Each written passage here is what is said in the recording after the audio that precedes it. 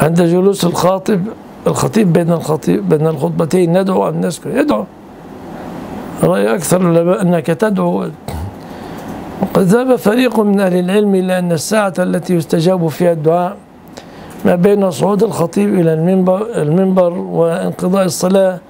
وإن كان الحديث الوارد في ذلك به علة لكنه قول شهير أيضا وقول قوي لأن اجتماع المسلمين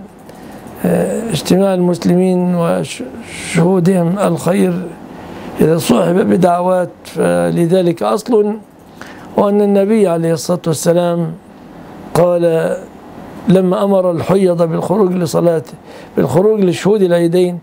قال يشهدن الخير ودعوة المسلمين وتعتزل الحيض المصلى.